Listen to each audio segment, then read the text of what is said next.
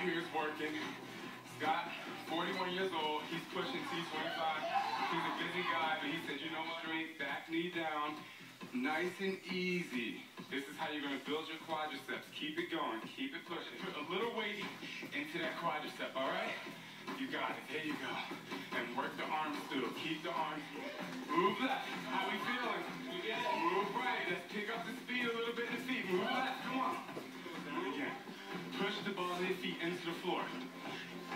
Push the ball of feet into the floor, you're automatically slightly bend the knees to protect yourself, and that will keep you in it and keep you focused. You can do it. How we feeling, guys?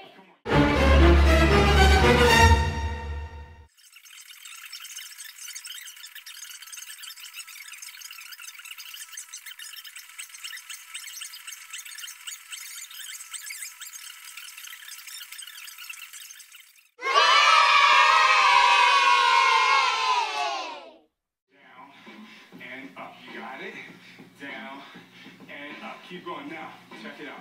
Tigers, now you push your hips forward. Touch your explosion. Now, when you come up, you want to push through that sprint. Set. And go. Come on, go. Come on, guys. Keep it going. Just stay in there. Stay in there. What do we talk about when we go to the floor? Keep the core tight, but it's not a break. This is still hard work because this is going to progress. This is going to focus. You get those elbows into the side. Now we're going to build speed and agility. The reason why we build speed and Got it? Push.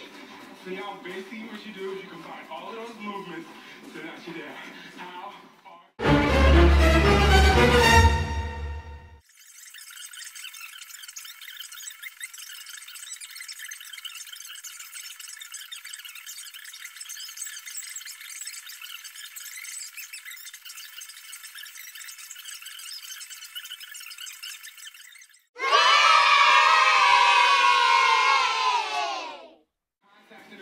put together a lot of things that we worked on today, and this is kind of your test at the end of the workout. Up, back.